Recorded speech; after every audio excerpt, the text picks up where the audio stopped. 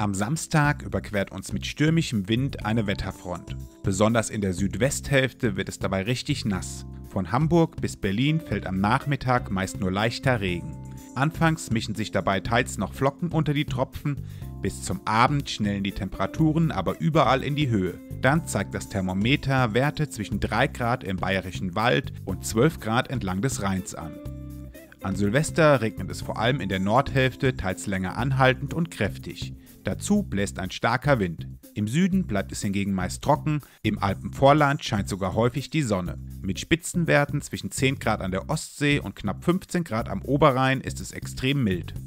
Das neue Jahr startet dann zwar wieder etwas kühler, in den Bergen mischen sich auch wieder Flocken unter den Regen. Alles in allem bleibt es aber sehr wechselhaft mit kräftigen Regengüssen und viel Wind. Winterwetter sieht anders aus.